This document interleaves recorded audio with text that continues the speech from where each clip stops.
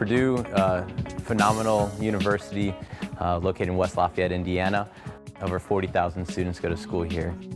The beautiful CoRec, uh, about two years old. We have, but on average, 7,500 users a day. We just finished a, a $98 million renovation. So we went from a 196,000 square foot facility, and now we're a 450,000 square foot facility, uh, LEED certified building.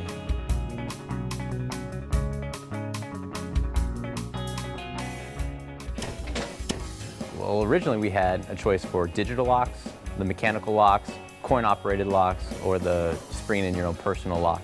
We wanted a system where people could come in, they could use a locker for an hour or two hours during their workout, open it up, and the next person who comes in has the ability to set their locker and then to use that combination, that locker again. As a student, I, I really like the new locks. To not have to pay to use a lock and still be able to lock my stuff up is really convenient for me. I think these locks are more user-friendly compared to just a regular padlock because that lock already comes with a set combination that you have to remember, whereas this one you could change it up whatever you want or make it super simple, the combination.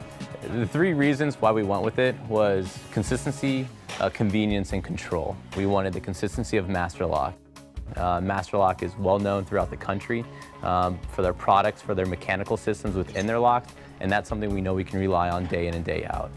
Uh, installation is really simple. We've got five different types of lockers, um, and it's two bolts, a nut driver. The maintenance on these locks have, has, for so far, has been nil.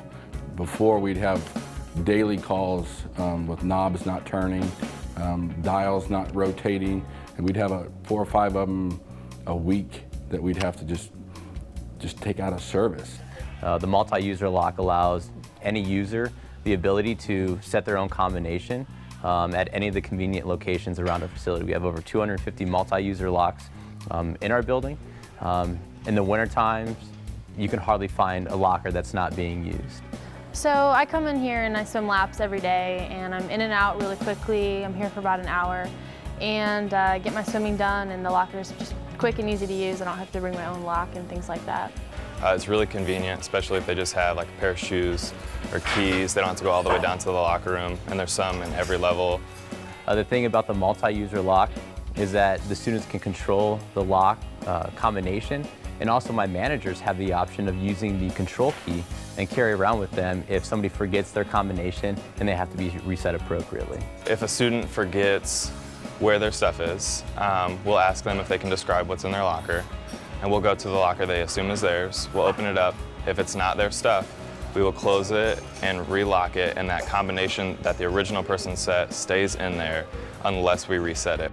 Uh, Master Lock came in and within two days they had 250 locks. We didn't even know they were here until they were finishing up and they said, well, have a good day. It's been reliable.